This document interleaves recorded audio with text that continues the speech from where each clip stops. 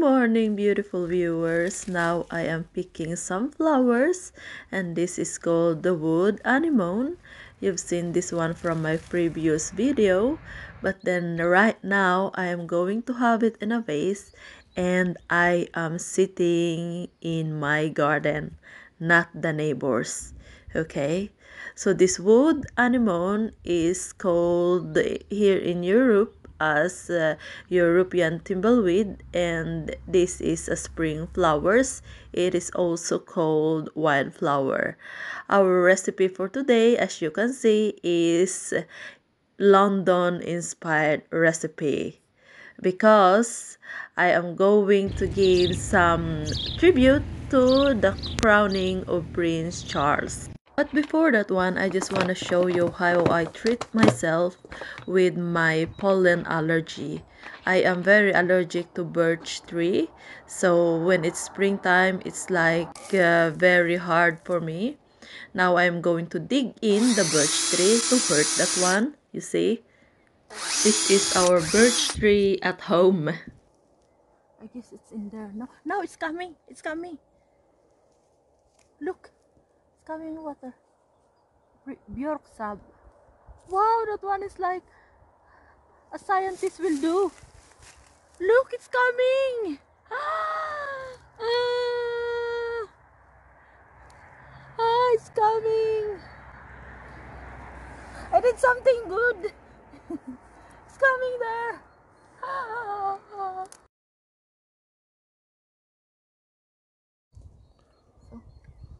There it is. So it would be like this then. Wait. And then hanggang ka kailahan agad. Akang her. Ah.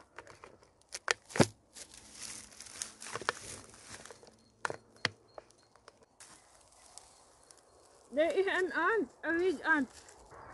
Ah. Benar listed. Oh god. There is a very big ant. Oh. I'm scared of the ants. I should not be, but I'm scared anyway.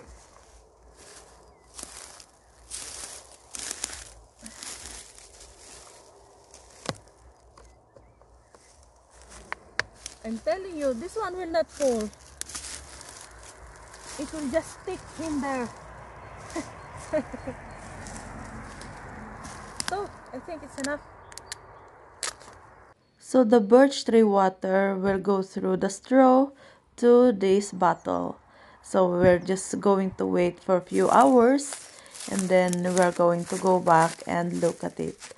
While waiting so I am going to prepare for our first menu for today the codfish. We're going to make this one as the fish uh, and chips. So I started with some white pepper and then salt and then this cayenne pepper and flip every fillet of it and then do the same process again in the other part of the fillets. This one will taste like mm, sublime. And we're going to coat it with the flour mix it with salt and cayenne pepper. That will be enough. And then just shake it and put the fillet there. You see just coat it this way. Yeah, yeah that will be our first coating of course.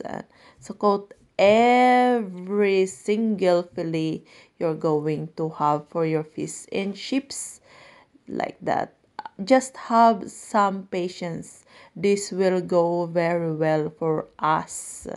So it looks like that. Messy but it will taste good i think. And another cup of flour then put the baking powder and mix it. And then we're going to open our beer. I'm not the expert of this beer oh my gosh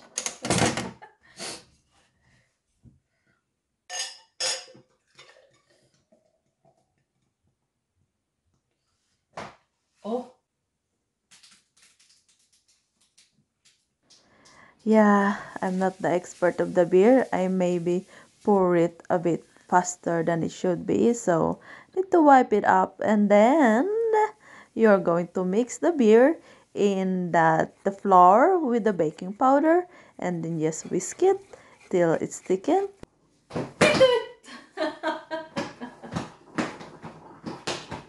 I hope I didn't scare you beautiful viewers. now I'm pouring in our frying oil. It should be almost half of the frying pan. I am using my wok pan because it's new.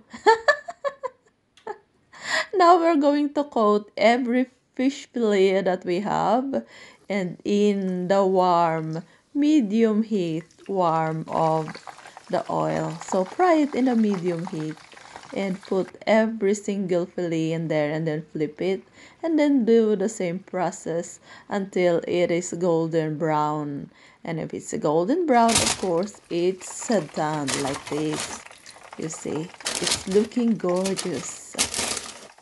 So while our fish is cooking and frying of course we're going to mix this sour cream.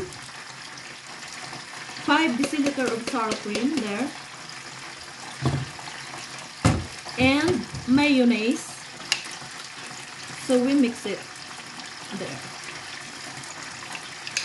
Like 2 tablespoons of mayonnaise. And then I have this rest of our uh, cucumber look it looks like that. So I'll just use all of these. Like this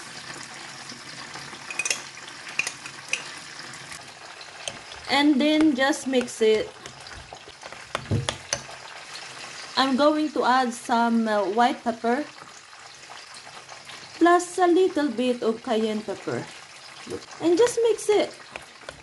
Just mix it thoroughly and look at this consistency. Wow it's very thick you are maybe thinking why I didn't use so much of the mayonnaise mm. because I don't like uh, this remoulade sauce to be tasting like mayonnaise so just a little. Two tablespoons is enough and our fish is looking very nice. So now I'm going to use this frozen, very frozen Look, potato fries. Oh, the fry it. Try this frozen fries. That one is not nice. It's ugly. Look. So while I'm waiting for the fries to be golden brown in that frying oil, I am going to uh, do some preparations. Table settings. It's just simple dinner, this one. Yeah, as I say, tribute to the crowning of King Charles. You need to excuse me when saying about Prince Charles because we're used to say Prince Charles, now he's a king. And um, I was thinking of like just a simple dinner for the family with my father-in-law and uh, everyone, especially now that I'm free of work it's so good to just do something extra simple and extra in the weekend. It's uh, I think it's very good to have it like um yeah family thing and all. And I am really liking it. And uh, yeah my kids uh, pass it good today. So this is our fish and chips you see. Those are our fish coated fish plus the cucumber plus our deep fried potatoes and our remoulade sauce. I'm telling you, this is just mmm. Look at that, just ready for dinner. Wow, wow. This is for you beautiful people. Fish and chips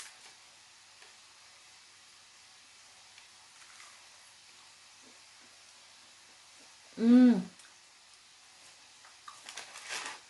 The sauce is good. This is very crunchy. Mm. It's very London. the difference is when it's in London, they serve this one, the fish and chips, in a newspaper. But uh, in my thing, this is not the newspaper. This is the paper that I use when I bake. it's so good.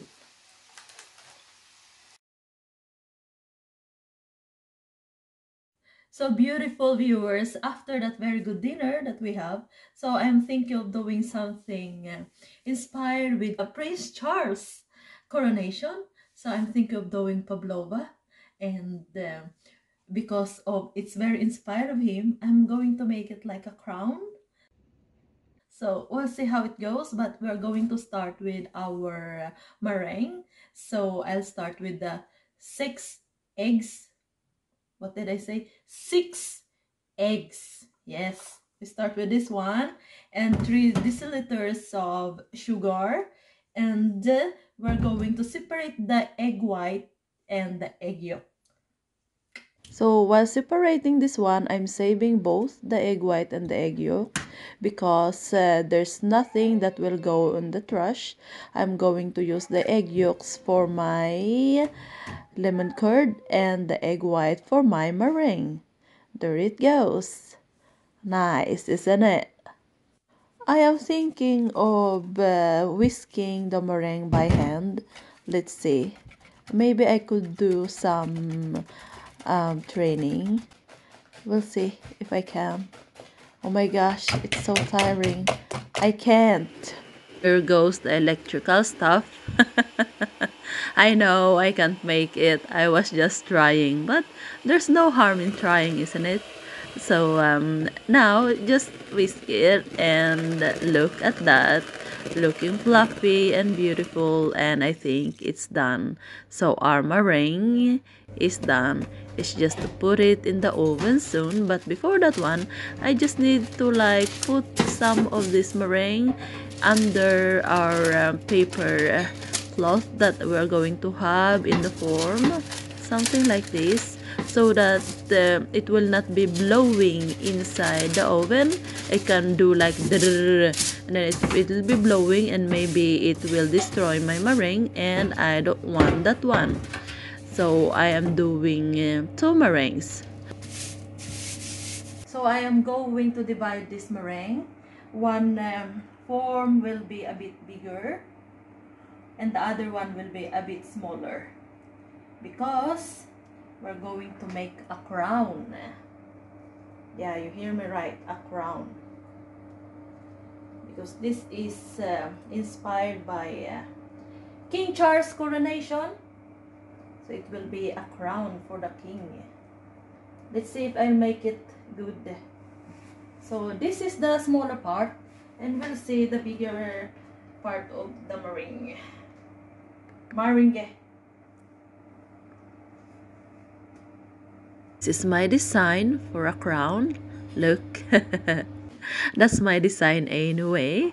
And in the oven, as I told you before, in 125 degrees Celsius uh, in an hour and then it can let cool inside the oven after an hour more. I am doing this one so that it will not be like super stiff and super hard the meringue look at that. It's looking very beautiful. So this is the inspiration of this meringue the crown. Now we're going to start our own lemon curd here are the ingredients. You saw it. So um, we start with by uh, our lemon zest. So i'm going to use the skin of this lemon. I'm using two of it. Yeah just yeah so grate it like that. You see? Wow that will give the taste a lemon very lemon rich taste you see. And that's our warm water and we put a bowl. Then we add our egg yolk six of it plus a whole two eggs.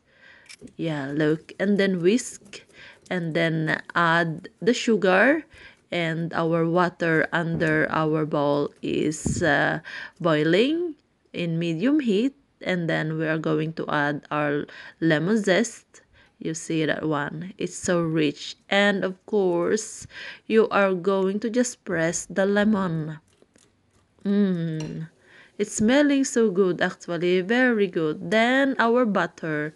So I am using 150 grams of butter. Yeah, look very nice. And then I'm going to let this one cool down. And I don't have so much space inside my ref my refrigerator, my fridge, what you call that one. So I'm putting it outside by our balcony and as you can say, it is very dark now. As promised, I am going to make a crown for the king, a tribute to the crowning of King Charles. Now I'm going to add vanilla powder in our 5 deciliter of heavy cream, just 1 half tablespoon of vanilla powder. Smelling good and just whip it. Yeah, until it's thickened. I am not going to whisk it with my hand. I already tried and it didn't work and it's enough. I think it's thick enough now, our cream. I put in a bowl a um, tablespoon and then mash like 10 pieces of raspberry in there like that. It will be our first laying for the filling. And I am peeling off the banana because we're going to slice it in a thin slices and add it in our filling. This is our first meringue the bottom and this will be our second layer and we'll see now I am starting to decorate our crown pavlova, inspired by the crowning of the King of England and uh, all other many nations, uh, King Charles III. So I add the cream and spread it around, plus uh, the mixture of the raspberry and the cream, and then spread it add on our fresh uh, raspberry and sliced uh, of half of bananas. You can use one whole bananas or as much fruits as you want. Then the second layer of our meringue. Spread the whipped cream evenly and decorate the crown. So the raspberry in there it's looking very beautiful. See? And then slices of bananas. You can just decorate it as much as you like. And I will do as much as I like. It's looking great anyway. And then use some dark chocolate. Me I'm using now milk chocolate. Look at our very beautiful uh, lemon curd. Wow, it's just dripping down there. Look at that. The consistency is just very beautiful. Oh my. Look at that crown, Pavlova. Isn't it awesome? Yeah, in the Badidas tribute to King Charles III. And I am liking it. Very beautiful. Then finishing touches. Our milk chocolate. Beautiful. Beautiful. Voila. Look at that. I feel like I'm out of words. I hope my family will like it too as I like how it look now. Wow, wow, wow. wow. And then now it's time for tasting. I just need to slice a bit. you need to be careful slicing this one otherwise it will break it already break in the bottom there so what? Feels very suspense how it look and how it will taste. Look at that. Wow. Wow look at that one. Ooh.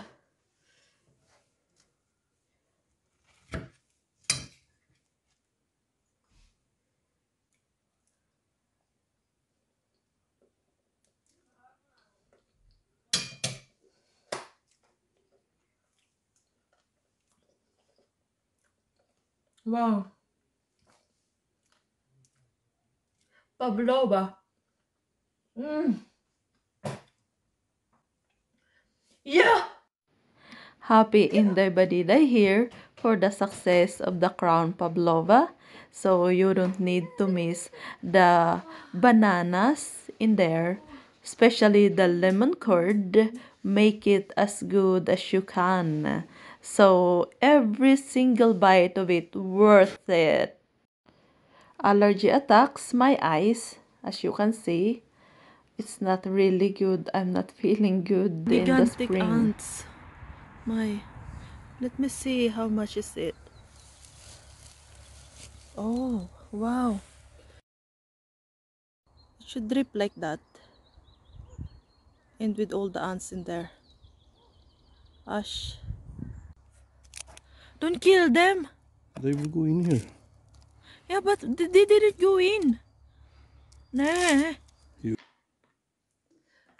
So this is the water from a birch tree. Yeah, that I dig. I screened. we'll see.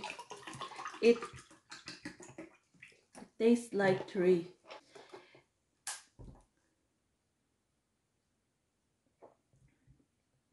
If anyone has tasted this um, coconut water, it almost tasted like that, but not so uh, sweet. I got my pollen allergies in the later years, uh, like 2016. Then a friend of mine said that uh, maybe I can uh, drink some uh, water from the birch tree itself to uh, like um, be immune in the pollen allergies. So I did, and it works pretty good. Actually, it's nice it's not scientifically proven but it is working good for me so i am just continuing of doing the same year after year every spring like two weeks before the spring i do it and uh, that's the process thank you very much for watching. I hope you enjoy our recipe for today. The crown pavlova the lemon curd and our fish and chips. Bye